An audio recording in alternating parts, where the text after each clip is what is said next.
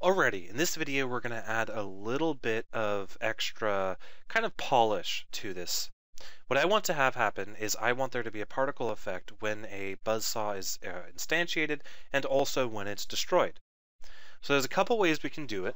Uh, we could add a uh, particle effect property onto the path projectile spawner um, saying that every time it spawns a projectile to perform or to do a certain kind of particle effect. And I think that would probably make the most sense. And then in addition to that, we could have on our actual path projectile, we could also have an effect added here for when the uh, projectile is destroyed. So let's put the code together real fast because that's going to be pretty straightforward. We're going to go ahead and we're going to jump into path projectile spawner and we're going to add a new public game object um, spawn effect. Now on spawn effect, all the way at the end of our update method is when our shot will happen. So what I'm going to do is I'm going to say if spawn effect is does not equal null, instantiate spawn effect, transform position, transform rotation. So this allows us to decide even not to have a spawn effect by simply not setting it to anything or setting it to null. So we're going to do this exact same thing over our on our path projectile. In fact, I can just bring these up side by side and we can take a look at how to do that. All we're going to do is up here, we're going to say public game object destroy effect. And then on my update method, right before we destroy ourselves, I'll say if destroyed effect does not equal null, then instantiate destroy effect, transform position, transform rotation. So we're just instantiating an object. In this case, it'll be a game object a particle system and an auto-destroy script on it. All right, so let's exit out of full screen. Let's jump back into Unity and actually create those effects. I'm just going to bring over here for my effects, I'm going to bring over my small yellow burst, and then I'm going to change it a little bit. Uh, first of all, I'm going to go up to game object and say break prefab instance, and I'm going to call it um, medium gray or medium black burst. We're going to change our uh, start size to maybe 3. We're going to change our start speed maybe to 5. Then we're going to change our color over lifetime to be black. Or how about a little gray? Or how about even better? I can do a random between two gradients, have one be a blackish color, and then the second one, we'll, we'll set our opacity down to zero, will kind of be a lighter grayish color. I think there's too much, I think it's too light. So I'm going to come in here on the right hand side, I'm going to have this go down to dark. And then I'm going to do that. All right. And then I'm going to have this uh, go from black. How about this go from black to gray and the other one go from gray to black? That'd be an interesting effect. Yeah, I kind of like that. Kind of looks like a cannon shooting something. Maybe add a gravity multiplier to it. Um, gravity multiplier like 0.5.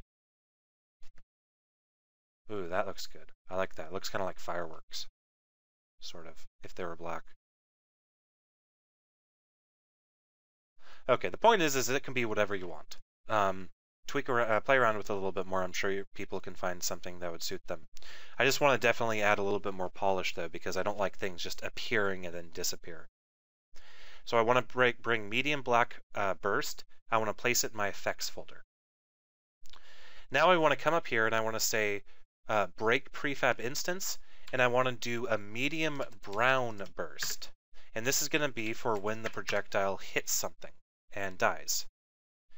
So instead of black and gray, I'll just do a normal gradient and I'll select one of these one of these colors and I'll select maybe a darker one of these colors. And that's fine. Again, I can sit here and play with this for hours. So I'm just going to go ahead and prefabify it. And we have our medium black burst and our medium brown burst. And we can modify these later if we want to. Then I'm going to go ahead and move uh, this endpoint, this destination, a little bit to the right. So open up my cannon, go to my destination, move it a little bit to the right. Then on my projectile spawner, I want to click and drag medium black burst to the spawn effect. And then I'm going to hit apply.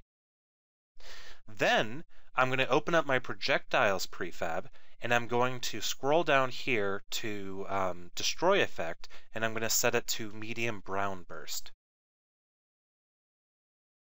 So we have a prefab that's going to instantiate a prefab, which is pretty cool. So let's go ahead and hit play and see what we have. Wow, that instantly looks a million times better. I know you can't see it, Steve, very well, but just the fact that they're no longer appearing out of nothing. Okay, I'm, I'm waiting. I'm waiting. Oh, there it is. There it is. I had to wait for it to time up just right. um, I do want it on the brown burst though. I do want to give it a um, uh, mission burst. Where's its velocity?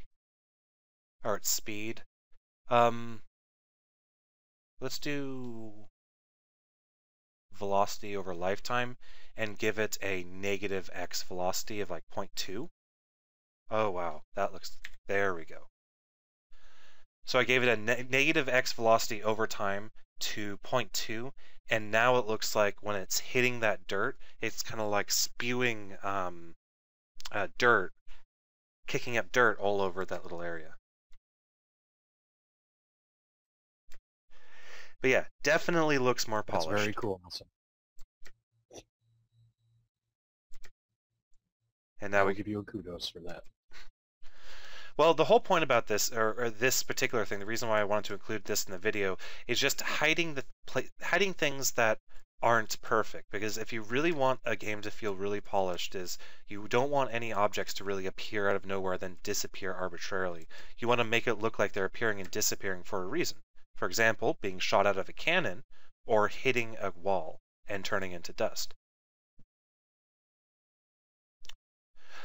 Alrighty, so I think that pretty much wraps up the particle effects that I wanted to do, and we'll see you guys in the next video.